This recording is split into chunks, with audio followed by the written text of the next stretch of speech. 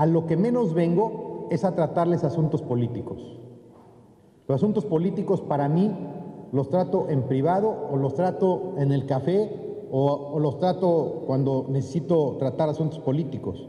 A mí me interesa que ustedes tengan muy claro que el gobernador le interesa que Guerrero progrese. A la grilla la dejamos un ladito. Esa es una actividad que distrae, que le quita a uno mucho el tiempo. Uno tiene que concentrarse en su trabajo. Aún en las condiciones tan complicadas que vive Guerrero, uno necesita dedicarle tiempo al trabajo. Por eso se los reitero a ustedes y se los dije a los periodistas hoy en la mañana que me entrevistaron.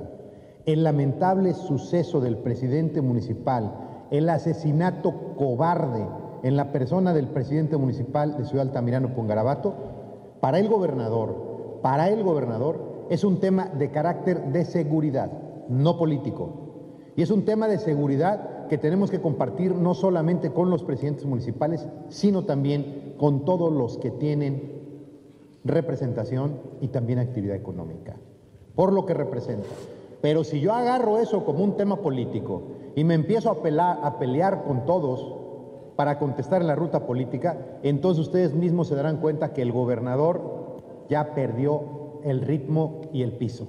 El gobernador debe concentrarse en su responsabilidad.